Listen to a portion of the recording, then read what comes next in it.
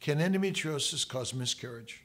The short answer is yes. However, like many aspects of cause and effect, we don't always know all the processes in the body that lead to a miscarriage and which women will be more affected than others. What we do know is that statistically, endometriosis significantly decreases the chance for a successful pregnancy and increases the risk of recurrent pregnancy loss. And they are all potential signs of endometriosis. So, how does endometriosis impact a pregnancy and what can we do to help? Endometriosis is an inflammatory condition where tissue grows outside the endometrium, potentially interfering with the implantation process for the embryo and thus leading to a higher likelihood of miscarriage.